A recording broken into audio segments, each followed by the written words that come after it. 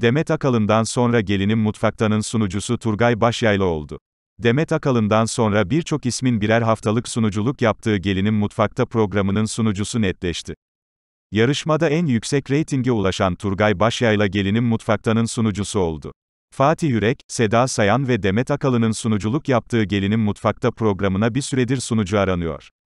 Birçok ünlü ismin birer haftalık sunuculuk yaptığı yarışmanın sunucusu netleşti. Hem şarkıcılık hem oyunculuk yapan Turgay Başyayla Kanal D ekranlarında yayınlanan Gelinin Mutfakta yarışmasının yeni sunucusu oldu. Birçok ünlü isme emanet edilen programda açık ara en yüksek reytingi uzun yıllar Show TV'de Lezzet Yolculuğu programını sunan Turgay Başyayla aldı. Yeni işi hakkında konuşan Başyayla, bu işi çok sevdim, hem lezzet hem keyif alıyorum bu tür programlarda. Şimdiden çok heyecanlıyım. İnşallah çok keyifli bir programla seyirci karşısında olacağım, dedi.